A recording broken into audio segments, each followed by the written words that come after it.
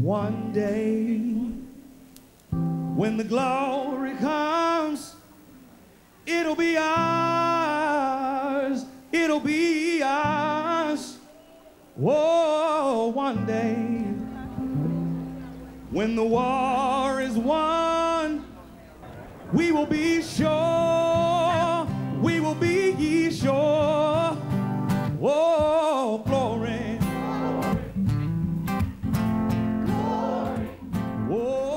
Step into the voting booth, the ballot box, you are not just voting for yourself, your interests, your needs.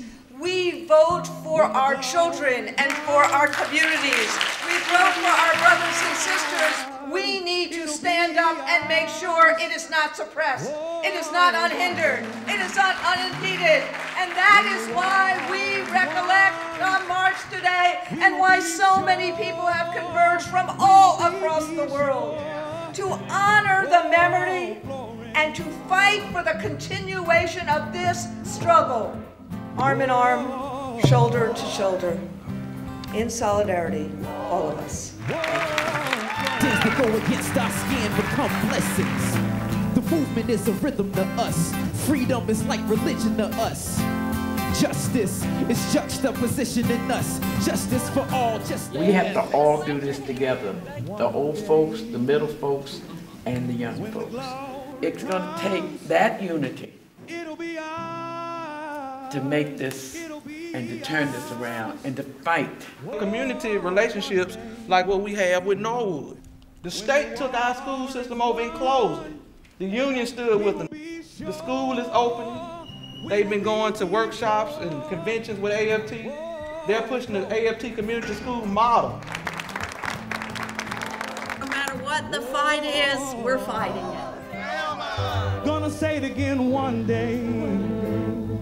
When the war is won, we will be sure.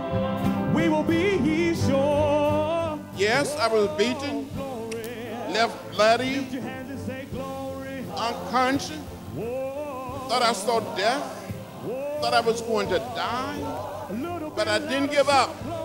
I didn't give in. And you must never, ever give up or give in.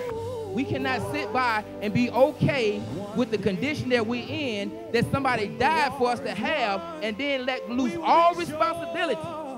We will Voting is a right. We must make that in the United States of America a ritual that everyone does.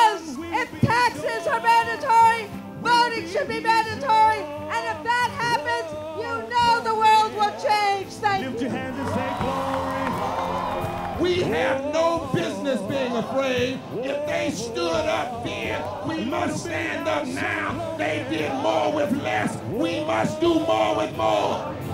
Whoa,